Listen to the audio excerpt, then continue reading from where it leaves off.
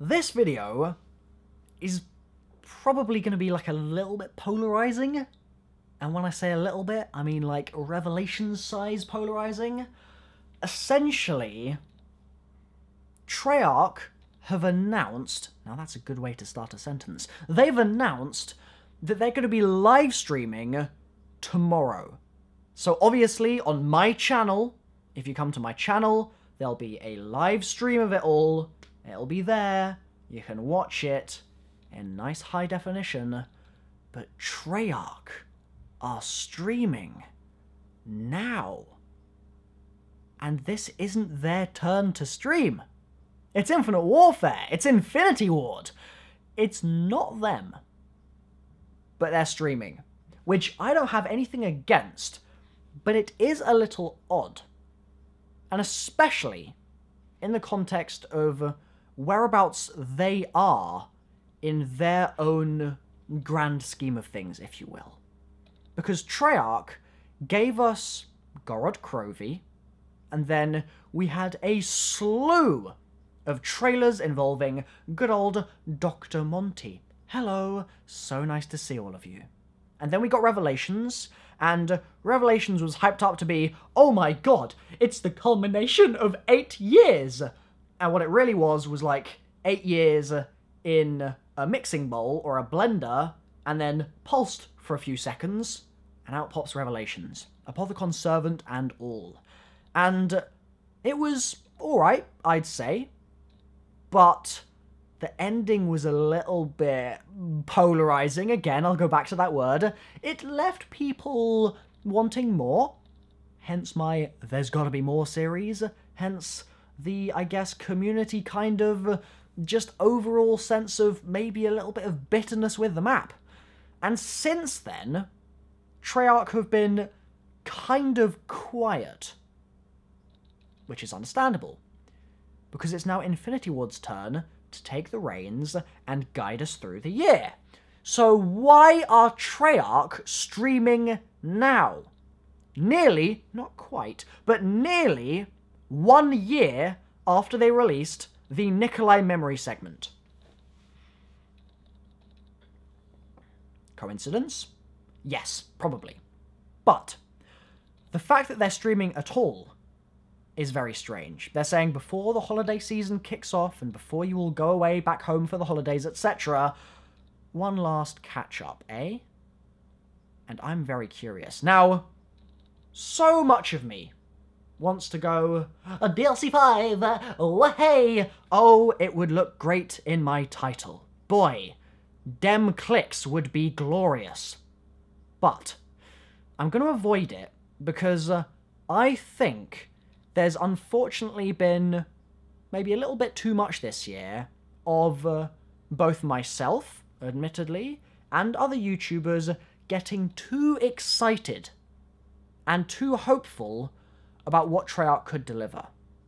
And I think that that hyping up and that overzealousness with titles and whatever it might be just with the real sort of expectation levels of things, meant that maps like Revelations were less enjoyable than they should have been. Because uh, I, in my head, had it on such a pedestal, and that pedestal was uh, not attainable in the slightest. It just wasn't possible to reach those heights.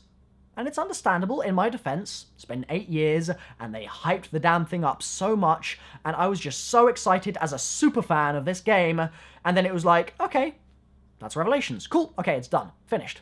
That's it. Zombies is dead. Kappa. And now, the fact that they've got this stream going on, which I'm obviously extremely excited for, and when I saw it, my heart sang, and it was uh, alive again for the first moment in months! Okay, that's an exaggeration, but regardless of hyperbole, it was nice to see it. And I want to think that DLC 5 is a possibility, and I want to think that the intel that Jason promised me, that he promised all of you, for liking that one interview I did with him so much that we unlocked. I'd like to think that that might be forthcoming.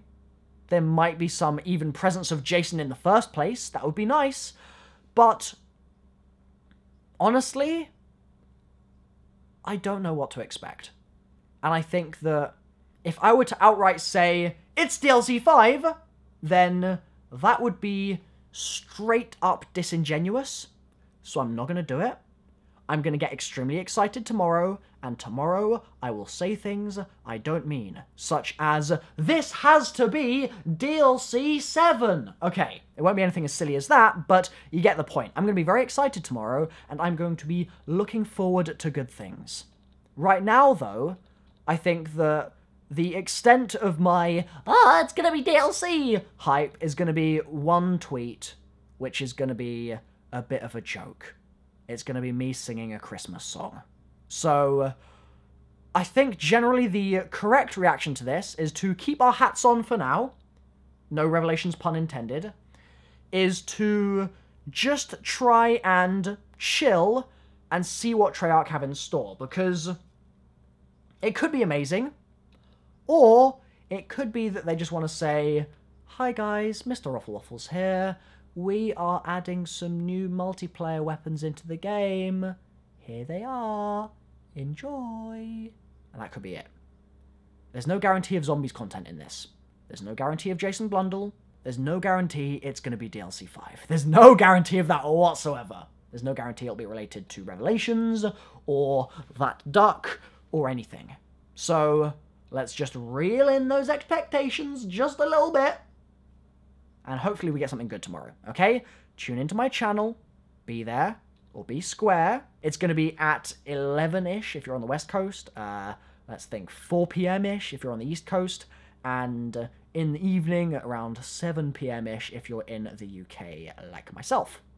So see you on my channel then, okay? I'm going to get some sleep. I'm exhausted. See you later. Bye-bye.